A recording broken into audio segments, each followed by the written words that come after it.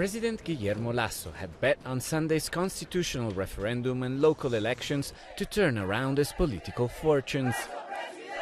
Lo que ocurrió el domingo What happened on Sunday was a call from the people to the government, and we are not going to evade that responsibility.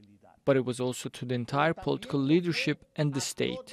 The Ecuadorian people have asked us, they have asked all the parties and groups to stop fighting amongst ourselves and to get to work to solve the urgent and concrete problems of our people. Instead, a majority of Ecuadorians turned their back on him.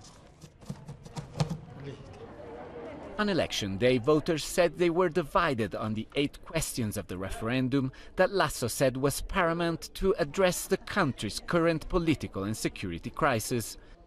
Some voters believed him. I voted yes because I believe that these reforms are necessary for the country. We are still a democracy in construction.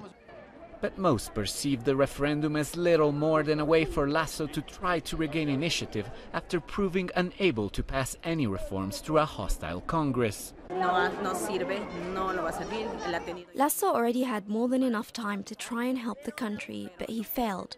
There are no jobs and no help for the youth. We feel helpless. There is so much crime, and we can't live in peace anymore. The referendum also called for the extradition of citizens linked to organized crime.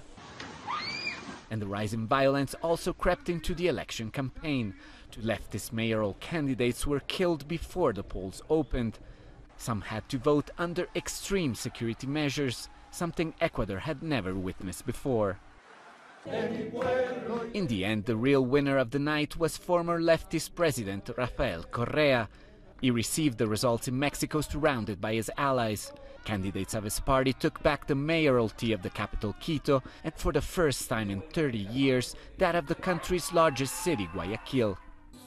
Correa lives in exile in Belgium. He was sentenced in absentia to eight years in prison in 2020 on controversial bribery allegations.